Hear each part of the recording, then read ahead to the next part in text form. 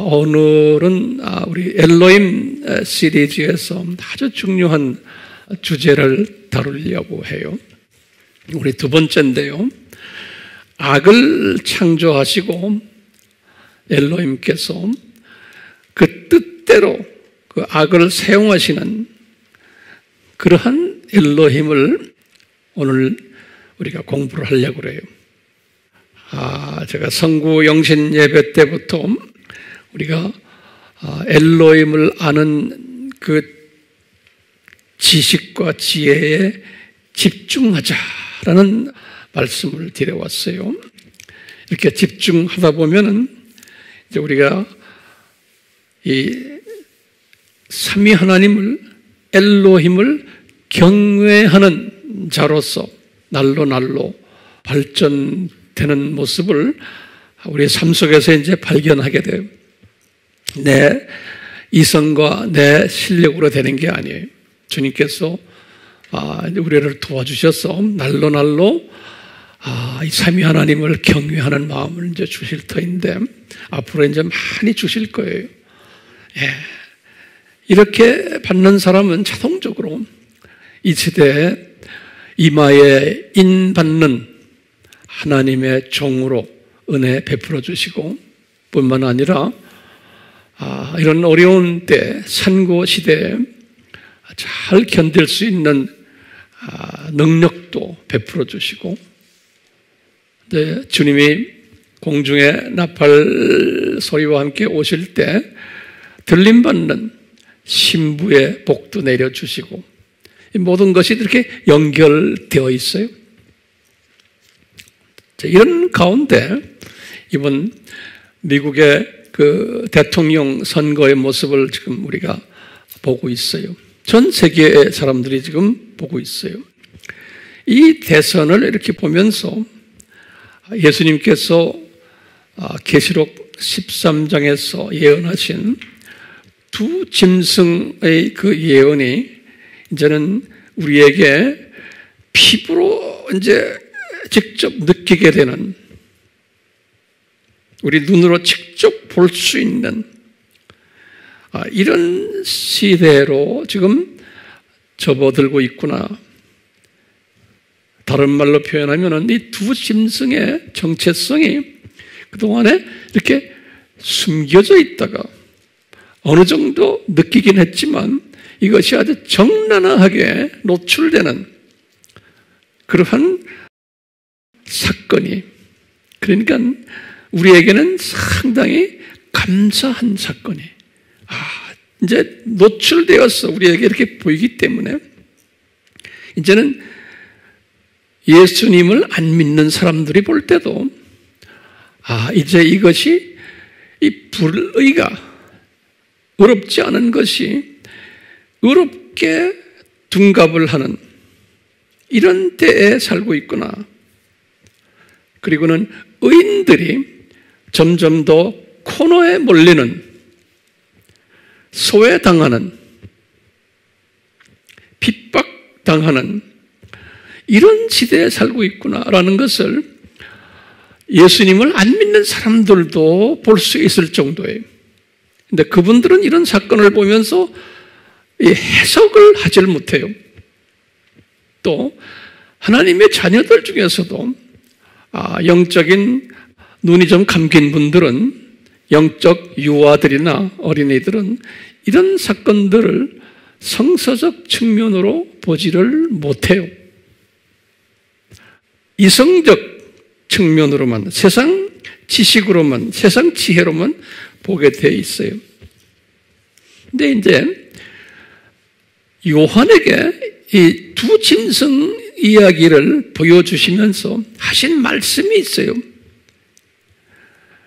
계시록 13장 8절에 하신 말씀이에요. 요한아, 이 두 짐승 세력을 따르는 분들이 상당히 많을 거다. 이 사람들이 어떤 사람인지 아느냐? 그러면서 말씀하신 게 있어요. 뭐냐면 창세 이래로 다시 말하면 세상의 기초가 놓인 이래로 생명책에 이름이 기록되지 못하고 땅에 사는 모든 사람들이 이 두 짐승의 하는 행동에 대해서 동의하고 그리고 그분들 따라가고 그런다는 거예요. 계시록 몇 장 몇 절에 13장 8절에 그렇기 때문에 하나님의 자녀들 중에서도 소위 교회 다니는 사람들도 크리스찬이라고 하는 사람들도 이번 이 두 짐승 세력에 그냥 동의하고 따르고 이해해주고 하는 사람들 얼마나 많아요? 그러면 성서의 말씀에 의하면은 세상 지식이 아니고 아 저분들은 하나님의 예정하신 생명책에 이름이 기록되지를 않았던 분들이구나. 이렇게 우리는 해석할 수 있어요, 없어요? 이렇게 해석하는 거예요. 그렇기 때문에요. 지금 제가 지금 말씀드리는 이 해석은 성서에서 예수님이 하시는 말씀이에요. 우리 세상 사고로, 세상 시각으로 보는 게 아니에요. 또 소위 교회라고 해서 모든 교회가 이런 시각으로 보는 게 아니에요. 소위 다원주의적인 사상을 가진 교회, 교인들, 신학자들, 목사들 상당히 많아요. 그런 사람들의 가르침 속에서 속힘을 당하는 하나님의 자녀들이 많아요. 그래서 이제 이런 사건을 통해서 지금 미 대선 사건을 통해서 교회 안에서도 분명하게 극명하게 두 그룹으로 이렇게 쫙 갈라지게 돼 있어요. 자, 우리 질문이 하나 있어요. 무슨 질문이냐면요. 왜 선하신, 좋으신, 착하신 엘로힘 하나님이 이두 짐승 세력을 허락하셨냐 이거예요. 예. 이게 우리의 질문이에요. 모든 사람의 질문이 뿐만 아니라 전능하신 하나님이신데 전능하신 하나님이세요. 이 지금 이 두 짐승 세력이 이렇게 못되게 구는데 왜 몽땅 잡아다가 당장 지옥으로 보내지 않으십니까? 이런 질문 던지셔야 돼요. 고민해야 돼요. 전능하신 분이세요. 이 이슈를 우리가 잘 알아야 돼요. 그 다음에 전지하신 하나님이신데 지금 엘로힘 하나님의 속성이다. 엘로힘 하나님이 전지하세요. 다시 말하면 과거도 아시고 현재도 아시고 미래도 깨뜨려 보시는 분이에요. 이런 전지하신 하나님이신데 지금 이 두 짐승 사건을 미리 아셨나? 이게 이제 우리의 질문에 이렇게 지금 미국 대선도 이런 식으로 될 것을 미리 아셨나? 라고 질문을 던지면 뭐라고 대답해야 돼요? 여러분들은 아셨다 이거예요. 그러면 황 목사님 어떻게 아셨다는 걸 알 수 있어요? 그러면 뭐라고 대답해야 돼요? 여러분들 하나하나 지금 적으시니까 너무나 이뻐요. 우리 웹을 통해서 영상으로 지금 여기에 말씀을 듣는 분들도 이걸 하나하나 체계적으로 하려면 사람은 잊어버리는 그런 속성이 있기 때문에 이제 적으셔야 돼요. 예.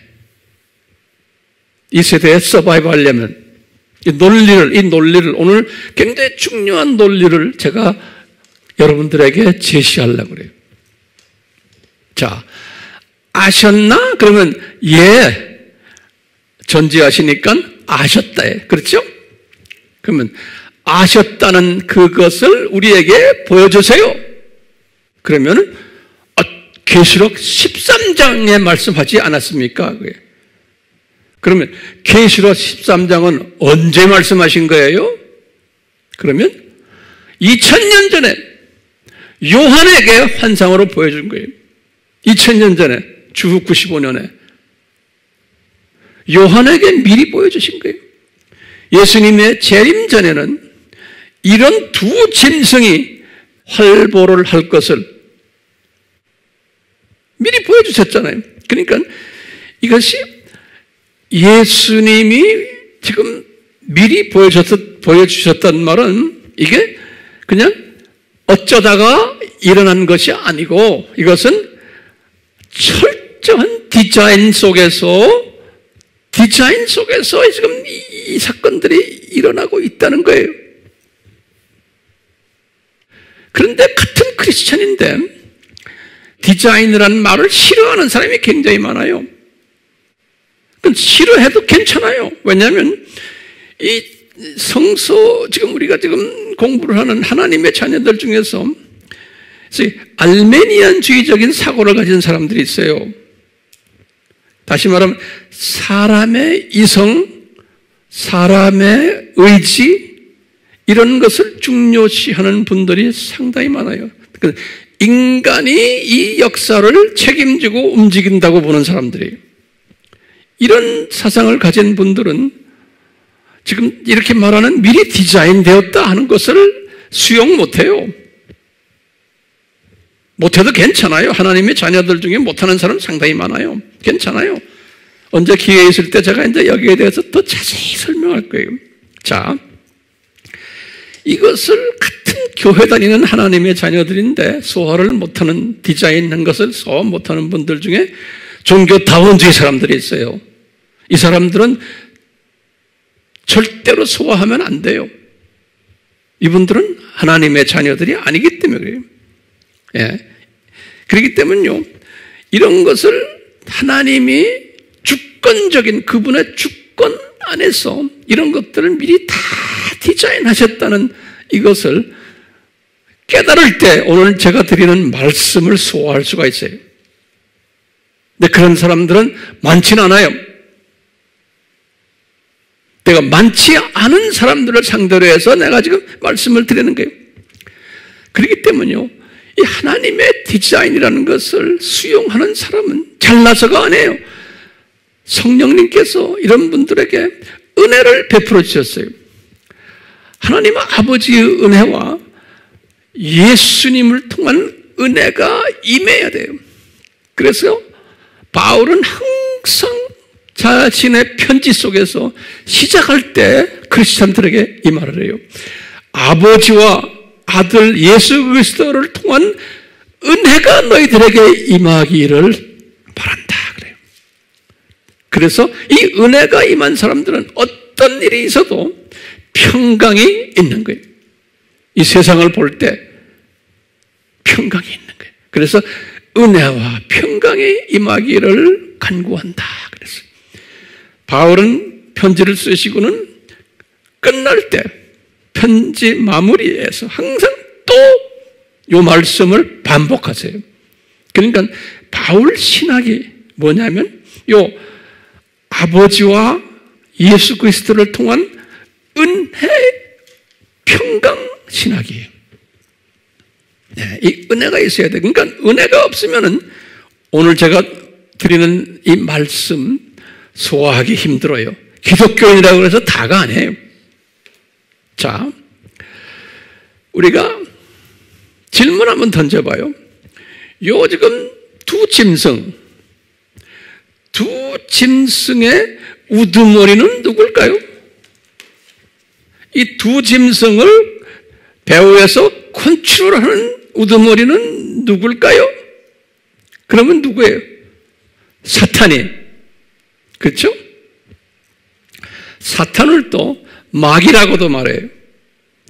근데 마귀라 할 때는 항상 영어로 더 정관사가 붙고 대불 할 때, 대불 할 때 D가 대문자로 되어 있어요. 새끼 마귀들도 많기 때문에 그래요. 그러니까 왕초 마귀가 더 대불이 대문자 D, 더가 딱 붙어요. 성서에는 어 대불이 있어요. 부정관사 어에다 소문자 뒤에 그러면 거기 새끼 마귀들이 자, 이 우두머리가 누구라고요? 사탄 또는 더 데블이 그 사탄이라는 말이 성서에 많이 나오지만 특히 마태복음 4장 10절에 보면 사탄이란 말을 나와요. 또 같은 사탄인데 이것을 마귀라고 하는 것은 예수님이 똑같이 마태복음 4장 1절에 그랬어요.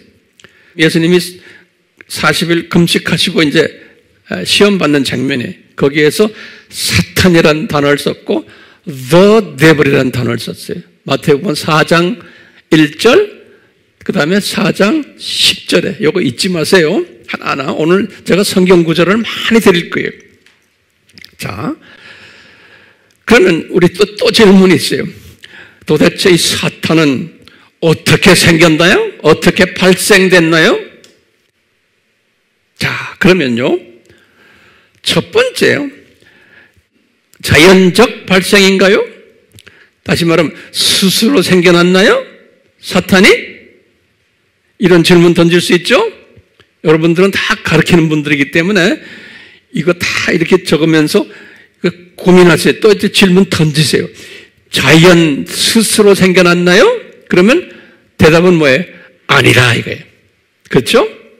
그러면 또 두 번째로요. 그러면 진화론적으로 생겨났나요? 진화론이 다시 말하면 어떤 한 개체가 진화가 돼가지고 이 사탄이 됐나요?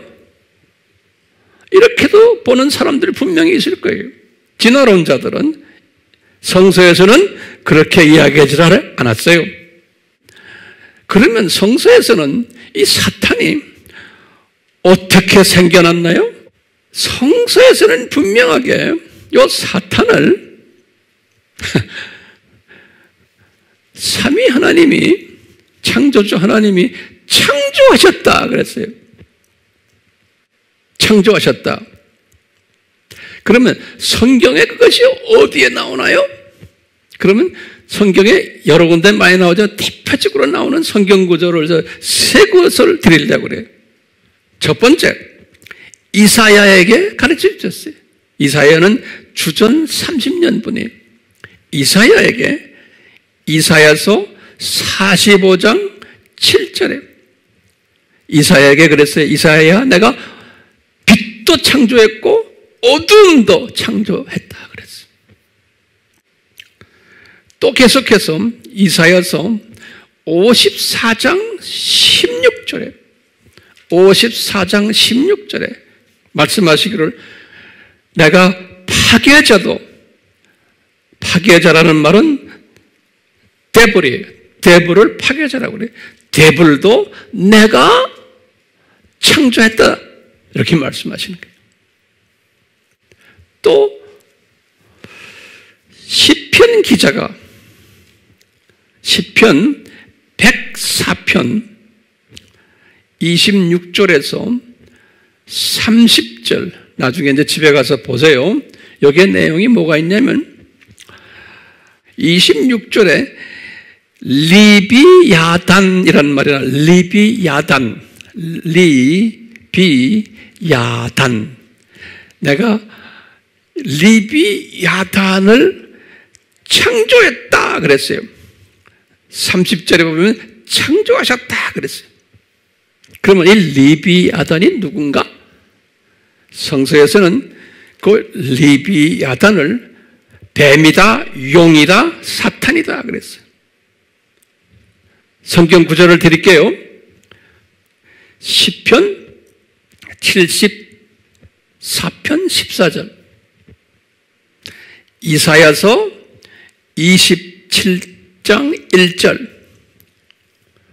욥기 41장 1절에 보면 요 리비야단 요 리비야단이 누구냐? 사탄이다 그랬어요. 그러니까 지금 이 엘라임 하나님이 리비야단 사탄도 창조하셨다는 거예요.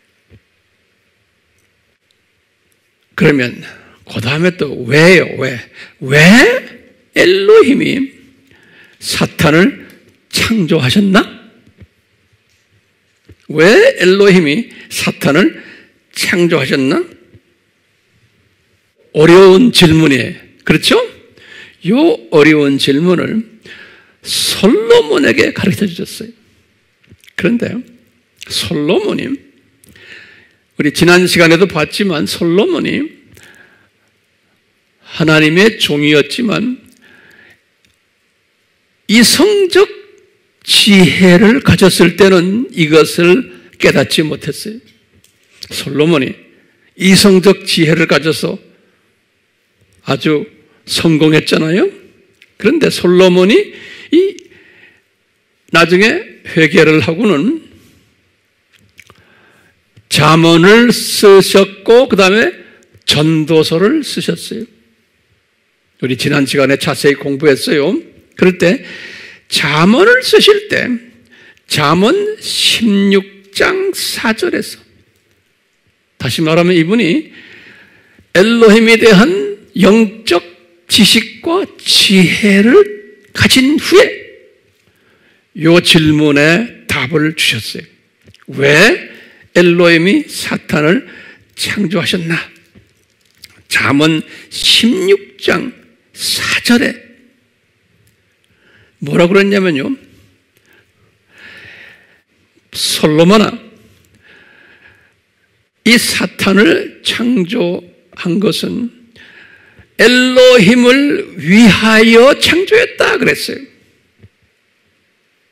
다시 말하면 엘로힘의 뜻을 펼치는 일을 하는 도우미로 엘로힘의 뜻을 성취하는 일에 도우미로 내가 창조했다.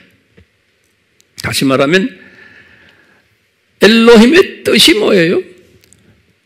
창조 목적이 창조주의 엘로힘 창조 목적을 가지고 있는 이름이에요. 다시 말하면 예정된 하나님의 자녀들에게 창조 목적을 교육시키기 위해서 창조 목적이 뭡니까? 삼위 하나님을 경배하고 찬양하고 영광 올려드리는 것이 창조 목적이 하나님의 자녀들이 이 일을 가르치기 위해서 더 강하게 교육시키기 위해서요. 누구를 창조했다? 사탄을 창조했다는 거예요. 창조 목적은 성경 구절 제가 세 개를 드릴게요. 이사야서 43장 7절 또 21절 창세기 1장 28절 또 하나를 드릴게요. 시편 148편 5절이 여기다 창조 목적이 집에 가서 하나하나 보세요. 그래서요. 요 하나님의 자녀들을 창조 목적을 훈련시키기 위해서 왜냐 영생을 얻은 하나님의 자녀들이 무료로 받으면 영생을 이 창조 목적에 대한 중요성을 절대성을 잘 그 가치를 모르게 돼 있어요. 그렇기 때문에 교육을 재교육을 시켜야 돼요. 그것이 하나님의 뜻이에요. 근데 이 재교육을 시킬 때 하나님이 어떤 교육 방법을 사용하셨냐면 소위 역기능적 교육 방법을 사용하신 거예요. 순기능이 아니고 순기능적으로 교육시키면은 이 피교육자들이 나태해져요. 게을러지고 그 가치를 모르고 고마움을 모를라요. 이게 피조물의 한계성이. 그렇기 때문에 이 피조물의 한계성 때문에 역기능으로 이 깡패들을 동원해 가지고 반대 세력을 창조해 가지고 고난을 허락하시고 핍박해 하시고 고통받게 하시고 왕따 시키시고 시행착오를 시키시고 또 가짜들을 만들어내게 해서 진짜를 찾게 하시고 적 그리스도라는 단어가 그래서 나오는 거예요. 진짜 그리스도를 공부하기 위해서는 적 그리스도를 뿌려놔야 되는 거예요. 그래서 진짜를 찾을 수 있게 이것을 역기능적 교육 방법이다. 그러는 거예요. 그래서 이 역기능적 교육 방법은 이 깊은 하나님의 신비를 모르는 사람들은 크리스찬들도 마찬가지예요. 이것을 기독교의 파라독스라 그런다는 거예요. 기독교의 파라독스. 왜 기독교가 하나님의 자녀들인데 왜 저렇게 핍박을 받고 미움받고 왕따당하고 그리고 비하나님의 자녀들이 더 잘 되고 왜 저분들이 저렇게 성공하고 하느냐 이거예요. 왜 기독교인들은 지금도 마찬가지예요. 이슬람 나라에 가서도 기독교인들이 숨어 있고 공산 나라 중국에 가도 기독교인들이 지금 다 핍박받고 숨어 있고 우리나라도 마찬가지 정말 진지하게 주님을 섬기는 사람들은 다 왕따당해요. 미움받고. 이것을 기독교의 파라닥스라고 그러는 거예요. 파라닥스. 파라닥스란 말이 한국말이 뭐예요? 역설에 역설. 이것을 바울은 뭐라고 말했냐면 바울은 바울도 이것을 고민하는 거예요. 데살로니카 후서에서 2장 7절에 바울이 뭐라고 말했냐면 이것은 영어로 말하면 the mystery of iniquities 그랬어요. 다시 말하면 불법의 신비다 그랬어요. 바울이 막 불법의 신비다. 이 못된 놈들이 더 잘 되고 더 성공하고 하는 게 그러니까 이게 하나님이 디자인하신 거예요.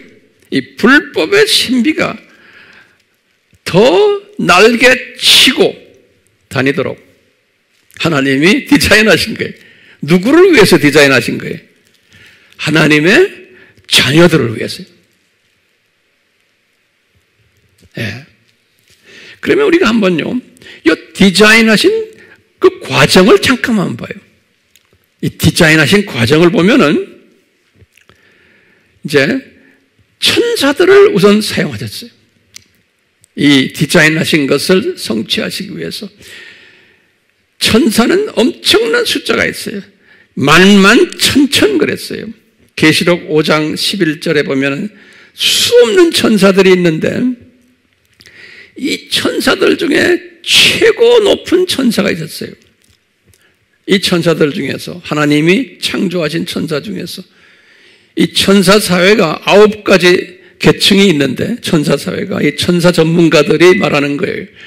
아홉 가지 계층이 있는데 그 중에 제일 높은 계층 천사 그룹이 뭐, 무슨 천사 그룹이라고 그래요? 그룹 천사들이라고 그러죠. Cherubim 또는 게루빔 그래요. 아, 두 번째가 세라핌, 스랍 천사 그룹에 쭉 이게 나오는데 우리가 이걸 다 우리 우리 영상으로 보는 분들 Army Bible Academy라고 그래서 아바라고 우리가 부르는데요. 우리 웹에 들어가서 우리 아미에 들어가서 아바에 들어가서 보면 자세 한 내용들이 있어요. 그러니까 들어가서 궁금한 분들은 공부하시길 바래요. 제가 오늘은 시간이 없어서 이거 다 이야기 못해요. 자, 이 제일 높은 천사인데 아홉 계층 중에서도 제일 높은 계층이 뭐예요? 그룹이에요. 그룹 천 제로빔, 게로빔 그래요. 그 중에서도 제일 높은 그룹 천사가 누구예요? 루시퍼인 거예요. 이 루시퍼가 천사들 중에 제일 높은 천사예요. 요 천사를 이제 우리 엘로임께서는 사용하시는 거예요. 역기능 도구로 요 천사를. 본래 요 천사 이름이 루시퍼예요.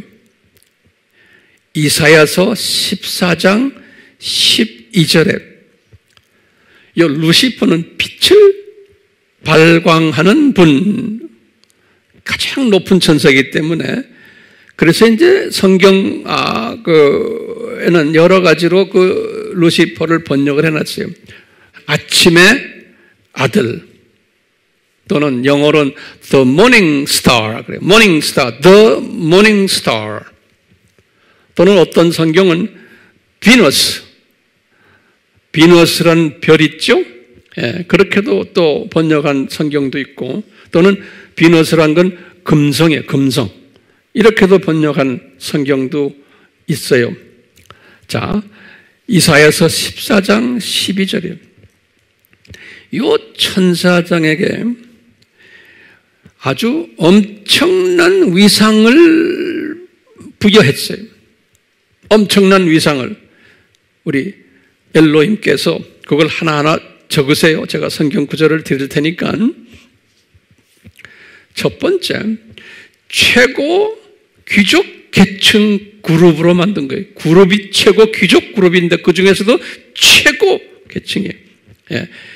에스겔서 28장 14절에 그리고 똑같이 거기에서 최고 천사장으로 만들어놨어요. 28장 14절에 그래 에스겔서. 그 다음에 세 번째로는 이 천사장이 얼마나 높은가 하면 삼위 하나님의 보좌가 있잖아요. 삼위 하나님의 보좌에 항상 옆에 있어요. 거기에 있어가 그 위에 있어서 날개를 딱 가지고 삼위 하나님의 보좌를 덮는 최고 비서실장 같은 그래서 덮는 그룹 천사라 그래서 덮는 그룹 천사 지성소를 덮는 그룹 천사 에스겔서 28장 14절에 그랬어요. 그리고는 그뿐 아니라 최고의 지혜자랬다. 최고의 지혜자였다는 거예요. 에스겔서 28장 12절과 17절에 그랬어요. 그뿐 아니라 최고의 아름다웠던 미남의 미남, 핸섬은 미남이었어요. 에스겔서 28장 12절에 뿐만 아니라 최고의 찬양 사역자였어요. 최고의 찬양 사역자였어요.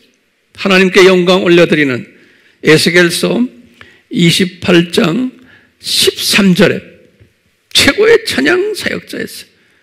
그뿐 아니라 모든 길에 최고로 완벽했던 자라 그랬어요. 모든 길에 완벽했던 자, 완벽해, 온전한 자. 에스겔서 28장 15절이.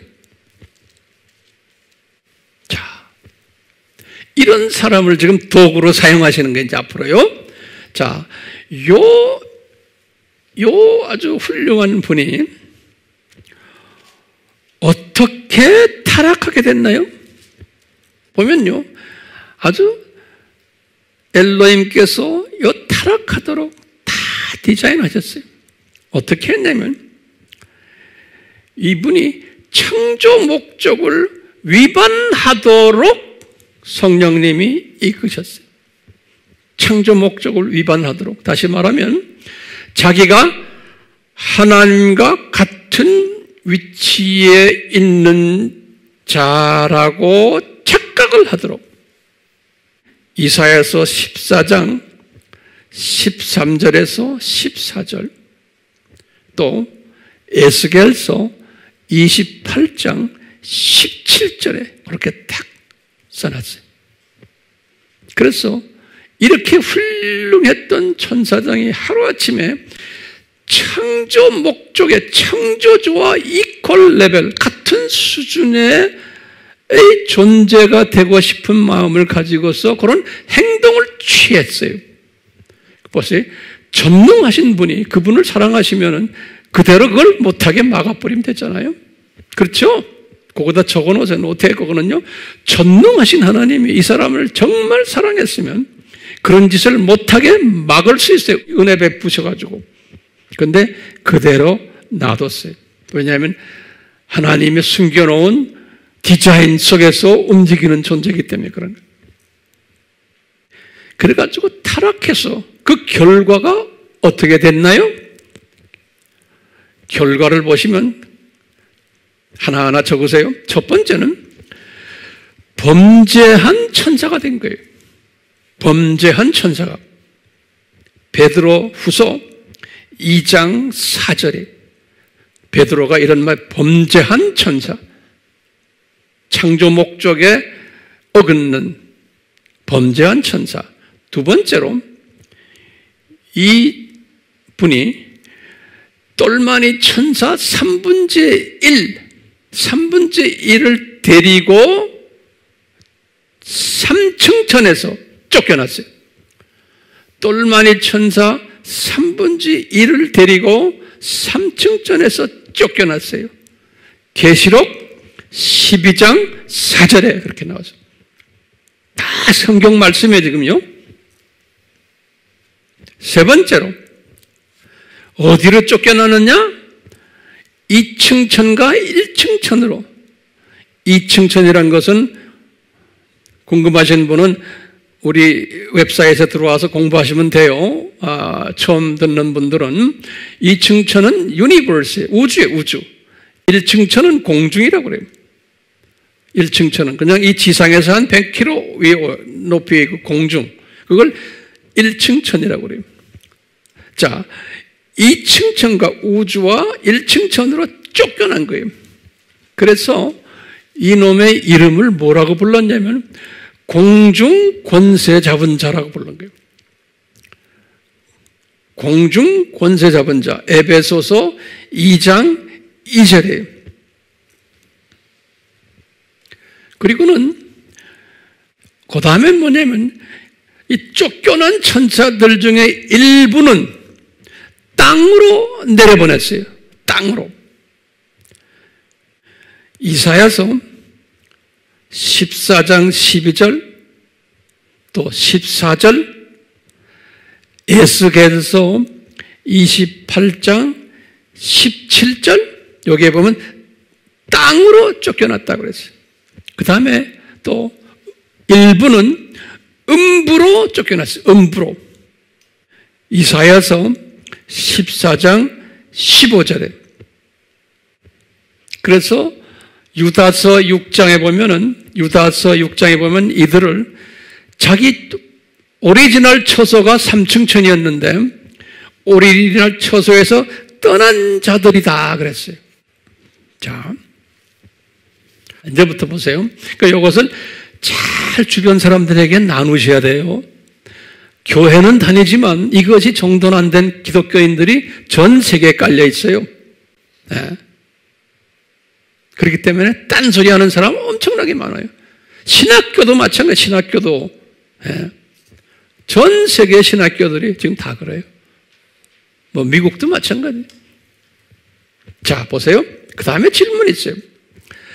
그렇다면은, 이 루시퍼가 타락했을 때, 또 3분의 1 천사를 데리고 같이 타락했을 때, 왜 이놈들을 타락 즉시 불못으로 던져서 영원히 가다 주지를 않으셨나 이게 전능하신 하나님이세요. 다 할 수 있어요. 그런데 왜 이 타락한 루시퍼와 3분의 1을 그대로 놔두셨나 이거예요. 그리고는 언제 이놈들을 불못에 던지는지 아세요? 7천년이 끝나고 거기다 적어 놓으세요. 7천년이 끝나고 심판 때 계시록 20장 10절에 그랬어요. 요한이 보았어요. 사탄과 그 그룹들을 불못에 던지는 장면을 봤어요. 그리고는 20장 그 다음 절 11절과 12절에 보면 백보자 심판이 나와요. 우리 이 칠판에 쭉 도표를 항상 연상하세요. 그러니까 그때 가서 이놈들을 불못에 집어넣어서 영원히 가둔다는 거예요. 그러니까 이게 우리에게는 엄청난 미스터리예요. 안 그래요? 우리에게는 미스터리예요. 자, 우리는 알지만 많은 지금 이 웹을 통해서 공부하는 분들에게도 이게 미스터리예요. 왜 당장 가둬두질 않고 이렇게 긴 세월을 어? 이렇게 풀어놓고는 우리를 괴롭히게 하시냐 이거예요. 자, 그러면 두 번째 질문에 지금 첫 번째 질문은 왜 불못에 덤지지 않았느냐? 두 번째 질문은 이건 더 중요한 질문이 이게 뭐냐면 왜 이놈들을 불못에 당장 안 던집어 집어넣지 않고는 오히려 이놈들에게 영향력이 있는 이름들을 주시고 아주 영향력이 있는 이름들을 주시고 막 강한 권한을 부여했어요. 이놈들에게. 제가 성경 구절을 드릴게요. 영향력 있는 이름들을 한번 들여다봐요. 요거 하나하나 지금 제가 오늘 설교는 지금 천천히 하나하나씩 합니다. 중요하기 때문에 그래요. 영향력이 있는 이름이 뭔가요? 이 루시퍼라는 이름도 아름다운 이름이지만 이제는 역기능적 교육을 위해서 이름들도 역기능적 이름을 주셨어요. 그 일을 하기 위해서 그래서 첫 번째 이름이 뭐였냐면 사탄이라는 이름이에요. 마태복음 4장 10절이에요. 요 사탄이라는 이름은 구약의 유대인 단어로는 사 탄이라고 그래요. 그게 유대인 말이에요. 헬라 말이 아니에요. 헬라 말은 뭐예요? 사타나스에 구약에서는 사탄이라고 그래요. 똑같이 우리가 쓰는 사탄이 이건 이게 히브리 말이에요. 구약에서는 올 테스먼 구약에서는 그런데 헬라 말은 뭐라 그랬어요? 사타나스에 헬라 말은 우리는 사탄이라 쓰지만 요 의미는 뭐예요? 우리 공부했다시피 하나님을 그러니까 엘로힘을 대적한 자라는 뜻이에요. 이, 이 단어의 뜻이 엘로힘을 대적한 자, 대적자라는 소리예요. 그런데 엘로힘을 대적한 그 다음에 두 번째는 마귀라는 이름을 줬죠. 마귀. 우리 알다시피 마귀는 요 구약에서는 요 히브리 말로는 마귀를 뭐라고 그러냐면 שד라고 그래요. שד. שד. 이렇게 שד. 그런데 신약에서는 헬라 말로는 요 마귀를 뭐라고 하냐면 διάβολος. διάβολος 그래요. 이 διάβολος란 말은 이게 뜻이 뭐예요? 우리 알다시피 파괴자, destroyer 또는 분리자, separator 이런 뜻이라는 거 우리 다 공부했죠? 네, διάβολος. 그러니까 이놈이 하는 일이 하나님을 대적하는 일도 하지만 그 다음에 이 하나님이 만들어 놓은 이 피조물들을 파괴하는 일, destroyer. 그 다음에 separate, 분리시키는 일이 하나님과 하, 하나님의 자녀들을 그 사이를 분리시키는 일, 분리자. 이런 일들을 하도록 다 만들어준 거예요. 이 마태복음 4장 1절에 보면 요, 요, 요, 막이라는 이름이 나와요. 요건 마태복음 4장 10절에 이름 몇 가지 줬어요? 두 가지예요. 우선 세 번째 이름 이 세상 신이라는 이름을 줬어요. 고린도 후서 4장 4절에 요 말은 굉장히 중요한 말이에요. 하나님의 자녀들이 아닌 사람들이 요 사탄을, 요 마귀를 자기네들의 신으로 생각하고 섬긴다는 거예요. 그래서 이 세상에 많은 종교들이 있을 것을 이미 다 하나님께서 이렇게 아, 미리 보신 거예요. 그래서 이 사탄을 이 세상 신이라 그랬어요. 자, 또 뭐라고 보냐면 이 세상 왕이다 그랬어. 이 세상 왕. 그러니까 이 세상에는 많은 지도자들이 왕들이 임금들이 대통령 수상 다 이놈을 섬길 거라는 거예요.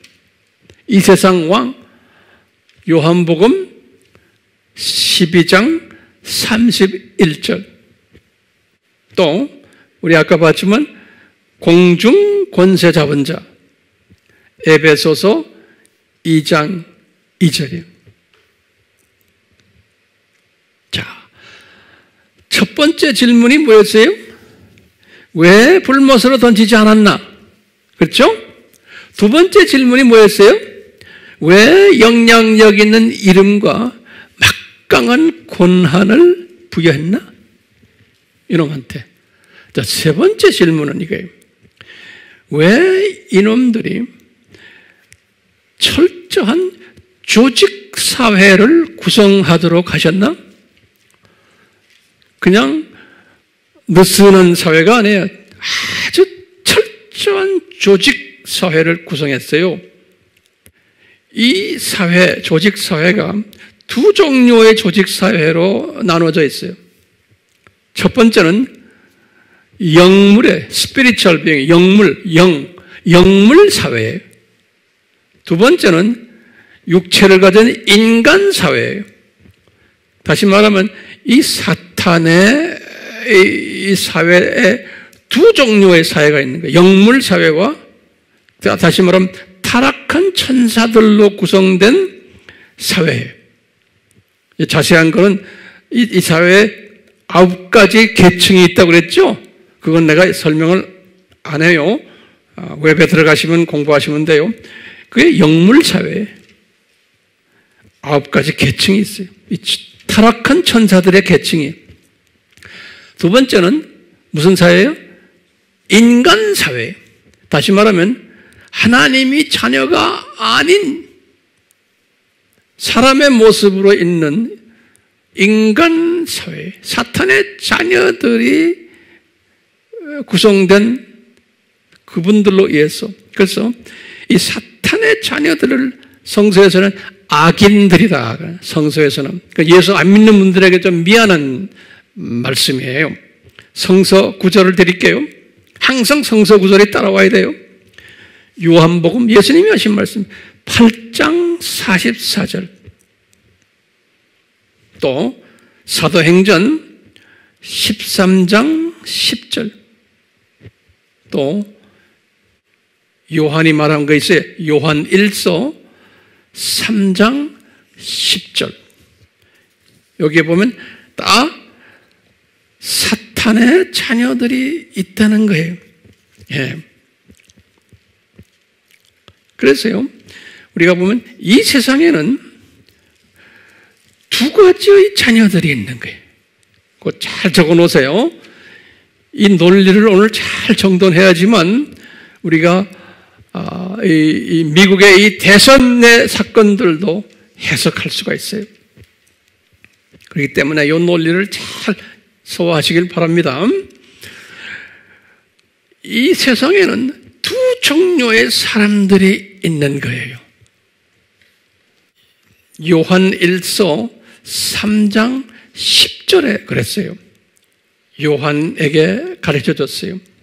하나님의 자녀들과 사탄의 자녀들이 있다는 거, 이 세상에는. 그런데 뭐라고 그랬냐면 요한 1서의 3장 9절에는 이런 말 했어요. 하나님의 자녀들은 어떤 사람들인가 하면 하나님의 씨, 여기 하나님의 하나님의 씨라고 그랬어요. 영어로는 seed에 요 거 근데 헬라 말로는 스페르마. 이게 헬라 말로는 스페르마라고 되어 있어요. 이 스페르마라는 말은 영어로는 스perm이요, sperm. 남자 정자예요. 남자 정자. 그러니까 하나님의 자녀들은 하나님의 씨를 받은 자들이라는 거예요.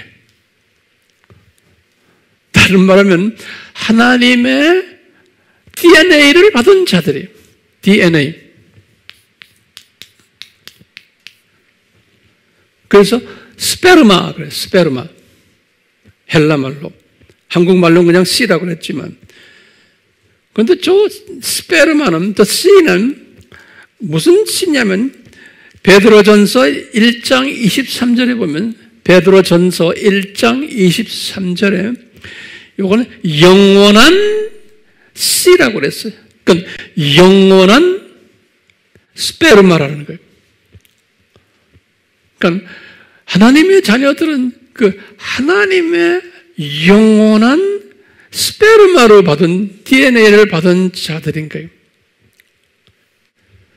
그런데 마귀의 자녀들은 사탄의 자녀들은 이것이 없는 거예요.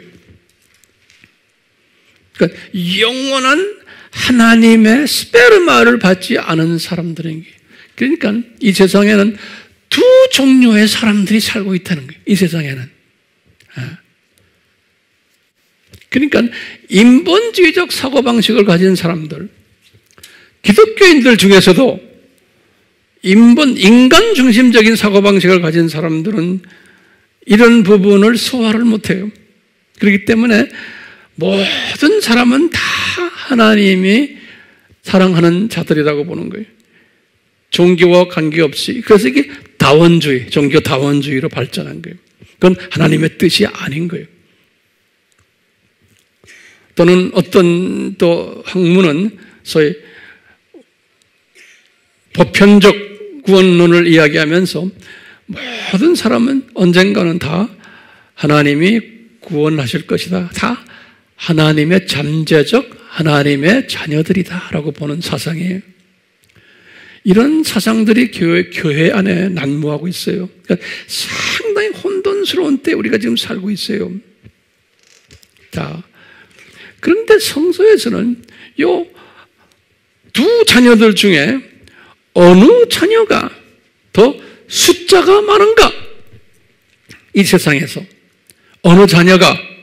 그럼 성서에서는 우리의 상 식과 벗어나는 이야기들을 성서에서 많이 해요. 우리의 상식과 우리의 이론 가지고 안 되는 거예요. 왜냐하면 예수님이 뭐라고 그러셨냐면요. 구원받는 하나님의 자녀는 아주 소수라는 거예요. 마태복음 7장 13절에서 14절에 좁은 문 넓은 문 이야기 또 사탄의 자녀들은 숫자가 아주 많다는 거예요. 기분 나쁜 사람은 상당히 많아요. 이런 말 하면 나빠도 할 수 없죠. 어떻게 성서에서 말하는 건데. 두 번째로는 예수님이 하신 말씀이 또 누가복음 13장 23절에서 24절에도 똑같이 말씀하셨어요. 구원받는 사람은 적다는 거예요. 하나님의 자녀가 되는 사람은. 누가복음 13장 23절에서 24절.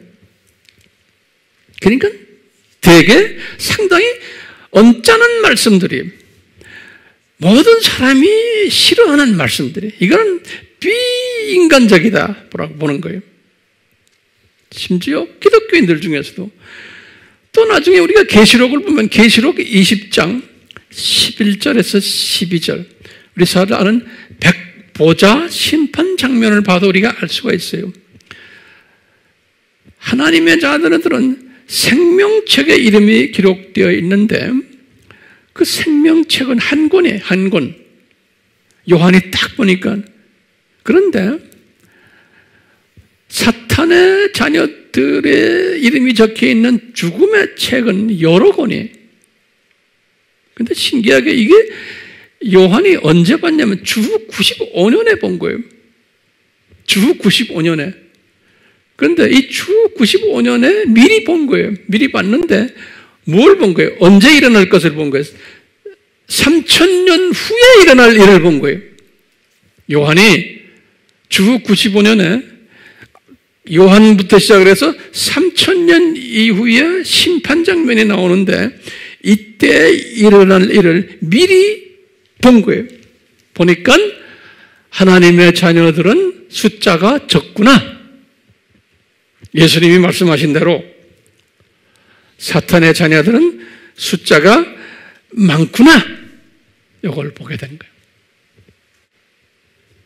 제가 지금 오늘 상당히 어려운 모든 사람이 수용 못하는 말씀을 지금 하고 있어요. 우리 아미교회 교인들은 뭐 괜찮지만 웹을 통해서 공부하는 사람들 중에서 수용을 못하는 분들이요.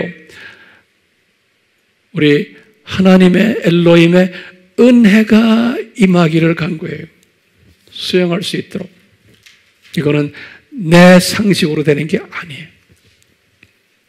자, 우리 알다시피 지금 이, 이 세상에 사는 두 종류의 사람들 중에서 어느 종류의 사람들이 더 이 세상 복을 받고 사는가요? 네? 성서에서 보면 또 우리가 실제로 지금 이 세상에 지금 살고 있잖아요. 보면 이 두 그룹 중에서 어느 그룹이 이 세상 복을 받고 있어요? 사탄의 자녀들인 거예요. 이 하나님의 디자인이에요. 사탄의 자녀들이 이 엘로힘을 믿지도 않는데 기독교인들을 핍박하는데 기독교인을 싫어하는데도 이분들이 세상에서 성공하고 번영하고 재물도 많고 잘 되고 장수하고 부정부패를 일삼아도 거짓말을 해서라도 엘로힘 믿는 사람들을 핍박을 해도 세상에 잘 되는 거예요. 그러니까 열심히 엘로힘을 믿는 사람들은 이것 때문에 아주 실족하는 사람들이 있게 되어 있어요. 네, 이 비밀을 모르는 사람들은 그 예가 시편 73편이에요. 시편 73편은 아삽이라는 아삽 아삽이라고 그러죠. 아삽. 이 사람은 누구냐면 다윗 왕의 성가 대장이에요. 그러니까 상당히 신실한 사람이 아삽이라는 사람이 이 시편 73편은 아주 유명한 장인데 요 아삽이 이런 자기의 고백을 하는 장면이 적혀 있어요. 아삽이 그래요. 제가 하나님을 섬기면서 실족을 하고 실망한 적이 한두 번이 아니라는 거예요. 왜? 나는 매일 성전에 들어가서 제사 드리고 매일 밤낮 없이 기도하고 착한 일을 많이 하는데 왜 나에게는 이렇게 재앙이 많습니까? 고통이 많습니까? 왜 내가 이렇게 고난 속에서 살아야 됩니까? 그러면서 이분이 그러는 거예요. 내 주변에 지금 예수 안 믿는 사람들, 여호와를 모르는 사람들, 다른 신을 섬기는 사람들 이렇게 보면은 이스라엘만이 아니고 주변 나라들 이렇게 보면 그 나라들도 잘 되고 그분들도 보면은 재앙도 없고 징벌도 없고 고난도 없고 고통도 없고 가난도 없고 오래 살고 그랬어요. 장수도 하고 죽을 때도 고난스럽지 않고 그냥 기분 좋게 아주 편하게 죽고 그런 말 다 거기다 써놨어요. 그런데 하나님을 섬기는 사람들은 왜 이거와 정반대입니까? 더 열심히 하는데 하나님을 더 경외하면서 사귀는데 여기에 대한 고민을 하는 것이 어디에 나와요? 10편 73편에 나와요. 그러니까 이분이 73면 17절에 그래. 내가 이런 고민을 하면서 실족을 할 뻔했는데 하나님을 내가 어, 좀 배반할 마음까지도 들었는데 의심이 너무 들어와서 그런데 성소에 들어가서 내가 기도를 하는데 나에게 환상을 탁 보여주는 거예요. 아삽에게. 그러면서 아삽이 뭘 보냐면 이 자들이 지금은 이렇게 살지만 너희들을 창조 목적 훈련시키기 위해서 이렇게 다 이 세상에서 잘, 잘 살도록 만들어 놨다. 그런데 저 사람들 봐라. 종말이 어떻게 되는가? 그 종말을 다 환상으로 보여주는데 90도 미, 90도 각도로 미끄럼을 타고는 쫙 밑으로 내려가면서 음부로 들어가는 것을 탁 보여주는 거예요. 예. 아삽에게 저분들 자기네 이제 할 일 다 끝나면은 그냥 음부로 직행해서 내려간다는 것, 파멸로 들어간다는 것을 보여주시는 거예요. 여러분들, 우리가 지금 이런 세상에 살면서 왜 이렇게 악이 성하고 악한 사람들이 더 잘 되고 거짓말해도 그것을 당연시하게 생각하고 예수님을 철저하게 믿으려고 그러면 더 방해하고 이것이 뭡니까? 그러면 아삽처럼 우리는 영안을 탁 뜨고는 그분들의 종말을 보는 시 각을 가지고 있어야 되는 거예요. 저러다가 이제는 언젠가는 파멸로 들어가는구나. 그걸 보시는 사람이 지혜자인 거예요. 그런 세계관을 가진 사람이 여러분들 오늘날에는 우리 아까 봤지만 세계의 모든 높은 사람들, 왕들, 대통령, 수상, 국회의원들, 장관들,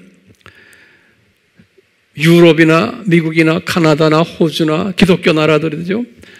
다 그 사람들 기독교인이라고 말하지만 대부분이 뭐예요?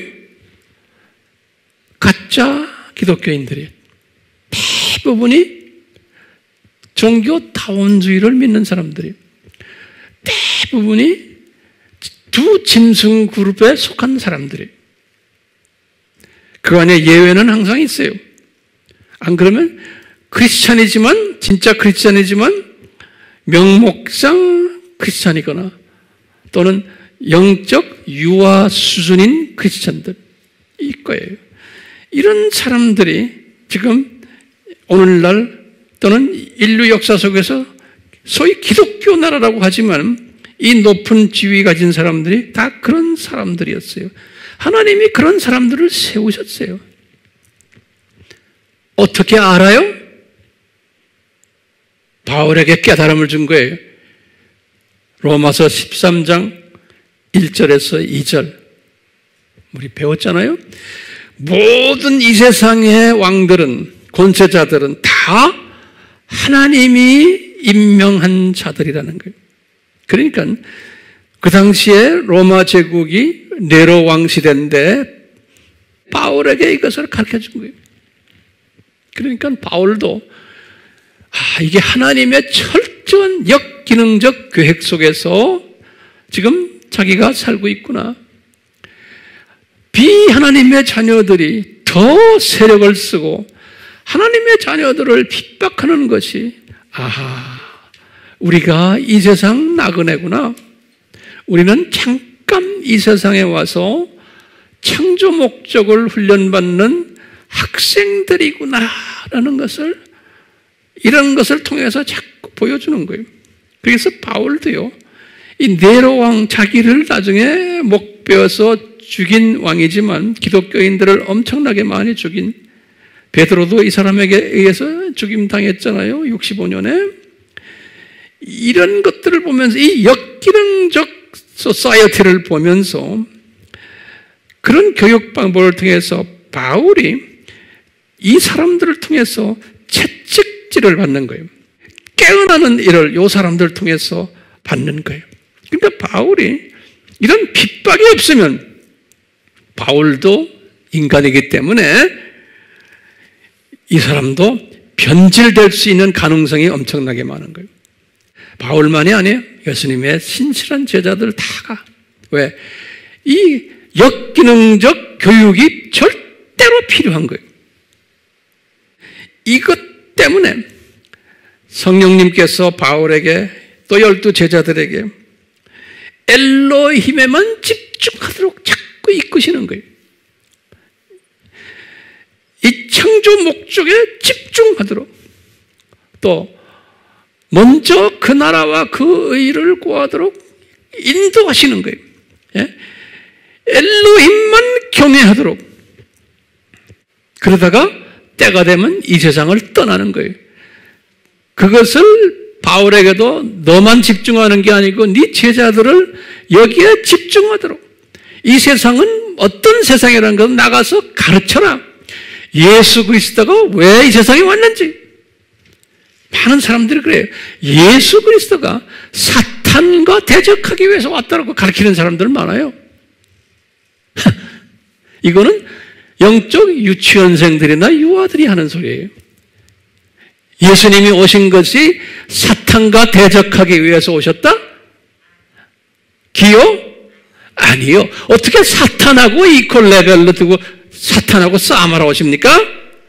사탄이 예수님의 장중에 딱 잡혀 있는 놈인데 싸움 대상이 됩니까? 그렇게 가르치는 기독교인들이 엄청나게 많은 거예요. 자, 지금 요 근래에 와서 그래도 가장 하나님을 잘 믿는다는 나라들 두 나라가 있어요. 영국과 미국이에요. 과거 한 200년 전부터. 거기에 왕들을 이렇게 보면은 영국의 왕들 보세요. 그 왕들도 보면 성공회의 제일 수장이 영국, 영국 왕은 예배도 드리고 예수님을 찾고 성경도 읽고 기도도 하지만 이분들은 두 짐승 세력에 잡혀 있는 분들이에요. 왜 예수님이 그렇게 만들어 놓으셨나? 하나님의 디자인들이다. 이분들은 진짜 하나님의 자녀인지 아닌지 난 모르겠어요. 안 그러면 명목상 크리스천인지 아닌지 모르겠어요. 그렇지만 두 짐승 세력과 결탁돼 가지고 그분들과 같이 행동하는 분들이에요. 영국의 왕실은 또 로마 카톨릭의 바티칸을 보세요. 두 짐승 세력이에요. 지금 예수님이 그렇게 다 디자인 하신 거예요. 그래서 예수님께서 두 짐승 중에 두 번째 짐승이 뭐예요? 양같이 생겼는데 용같이 말하더라. 그랬죠? 언제 기회 될 때 제가 여기에 대한 자세한 또 설명이 있을 거예요. 자, 미국을 보세요. 미국도 청교도들에 의해서 개신교도들을 위해, 그들에 의해서 기독교 나라로 만들어진 나라지만 미국의 대통령들 보면은 기록에 보시면은 프리메이슨이 많고 일루미나티가 많아요. 그 안에 소수 대통령들만 두 진성 세력에 영향 안 받는 사람들이 하나님이 그렇게 다 만들어 놨어요. 예. 요 근래 와서도 뭐 60년대 케네디 대통령은 그 세력들에 의해서 암살당했다라는 이야기가 있죠. 그것이 진실인지 아닌지 모르겠지만 그 후부터 미국 대통령들 보면 다 몇 사람 빼놓고 두 짐승 세력과 같이 동조하는 사람들이 왜냐하면 이 두 짐승 세력의 허락 없이는 이분들이 대통령 될 수가 없어요. 존슨 대통령, 닉슨 대통령, 포드, 카터, 리건 대통령은 아니라고 보는 거예요. 대부분의 사람들이 모르겠어요. 자세히 나는. 그 사람이 한 번 그래서 총에 맞았죠. 아버지 부시도 그 사람도 신세계 질서라는 이야기를 입만 열면 하는 사람이에요. 아들 부시 말할 것도 없고요. 그 후에 클린턴, 오바마, 우리 다 알죠? 이 세력들이 영국과 미국, 유럽을 다 이미 오랫동안 침투해가지고 깊이 뿌리 박혀 있는 그러한 세력으로 두 짐승 세력을 하나님이 그렇게 허락하신 거예요. 왜? 계시록 13장에서 예수님이 재림 전에는 이 두 짐승 세력이 이렇게 할 것을 다 미리 디자인하신 거예요. 그럴 때마다 거기에 반대 세력들을 크리스찬 중에서 하나님이 또 소수지만 또 세우시는 거예요. 그래서 이분들과 싸움하게 하는 거예요. 이 미국 이번 대선이 그동안에 이 숨겨져 있던 이 모든 두 짐승 세력들을 정난하게 폭로시키는 우리 눈에 보이게 하는 엄청난 사건이에요. 그러니까 이 사건은 우리에게는 굉장히 기쁜 소식이에요. 우리에게는 왜냐? 이 하나님의 디자인하신 것이 이제 숨겨져 있던 것이 조금씩 조금씩 조금씩 나오다가 이제는 이것이 확 드러나는 사건으로 지금 우리 앞에 전개되고 있는 거예요. 그렇기 때문에 우리는 이렇게 전개되는 이 사건을 딱 보면서 우리는 아하, 예수님의 재림이 정말 가까이 왔구나. 라고 다짐하는, 그래서 우리는 어떻게 살아야 되나? 그건 우리가 알잖아요? 근데 그런 시각을 가지지 못한 세상 사람들이나 세상에 어느 정도 똑똑한 사람들이나 또는 많은 기독교인들 중에 소위 내가 뭐 말하는 복음주의적 기독교인들 중에 이렇게 보는 사람이 있어요. 지금 미국 대선 사건을 보고는 비기독교인들 중에서나 또는 기독교인들 중에서 지금 내가 말씀드리는 이 신비를 모르는 사람들, 수화를 못하는 사람들은 이 미국 대선 사건을 보고 뭐라고 봐요? 엄청난 실망을 하는 거예요. 이번에 트럼프가 이겨야 돼서, 이겨서 다 이, 이, 이 세력들을 전부 없애버려야 되는데, 실망을 엄청나게 하는 거예요. 그래서 밤잠을 못 자는 사람이 많아요. 황 목사님은 밤잠 잘 자겠어요? 안 자겠어요? 저는 잘 자요. 네. 암담한 미래를 보면서 불안해하는 사람이 많아요. 그분들 그래요. 예수 믿는 사람이나 안 믿는 사람이나 아 세상이 종말이 아니냐? 그렇지만 이 엄청난 깔련 이 구조를 모르고 그냥 말로만 이 세상 종말이다 그러는 거예요. 그런 사람 많죠? 어떤 분들은 또 이렇게 생각해. 앞으로 우리 후손들, 우리 후손들 어떻게 이제 이 세상 살지? 어떡하지? 에? 나이가 든 분들은 우리 손자, 손녀들, 쟤들 어떻게 이 세상에서 서바이브 하지? 에? 걱정 태산인 거예요. 걱정 태산. 그리고 이런 분들도 이렇게 말할 거예요. 기독교인들 중에서 또는 비기독교인들 중에서 합해서요. 하나님, 하나님 정말 살아계십니까? 거기다 좀 적으세요. 하나하나. 이 질문이 중요한 질문이. 하나님이 살아계십니까? 이렇게 질문하는 분들도 많아요. 이, 이 신비를 제가 오늘 설명한 걸 잘 소화를 못하는 사람은 그냥 이성적인 지식 가지고 하나님, 하나님 살아계십니까? 이런 질문 먼저 던지는 사람도 있어요. 두 번째 질문은 뭐냐? 하나님, 하나님 주무십니까? 예? 세 번째는 하나님 왜 무관심하십니까? 왜 열중시하고 계십니까? 또는 하나님 왜 침묵하십니까? 왜 침묵하십니까? 또 어떤 분들은 하나님 지금 어디 계세요? 악이 이렇게 범람하는데 또는 왜 하나님 간섭 안 하십니까? 왜 손 떼십니까? 무책임하게 사람을 만들어 놓고는 또는 어떤 분들은 이렇게 말해요. 신실한 하나님의 자녀들이 이 사건들을 보면서 눈물로 기도하고 강구하는데 왜 반응이 없습니까? 저는 우리 인간들을 하나님 포기했어요? 포기하셨어요? 왜 이 악한 자들을 세상 사람들이 봐도 악하다 그러는데 하나님의 사람들도 봐도 악한데 세상 사람들도 악하다고 하는데 요 악한 자들을 몽땅 잡아다가 당장 왜 지옥에 던지지 않습니까? 어쩌려고 이러십니까? 뭐 숨겨놓은 무슨 비밀이 계십니까?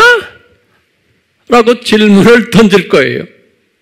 제가 볼 때는 뭐라고 대답하면 돼요? 숨겨놓은 비밀이 있다다. 그 비밀은 앞으로 계속해서 이제 내가 이제 여러분들에게 강의할 거예요.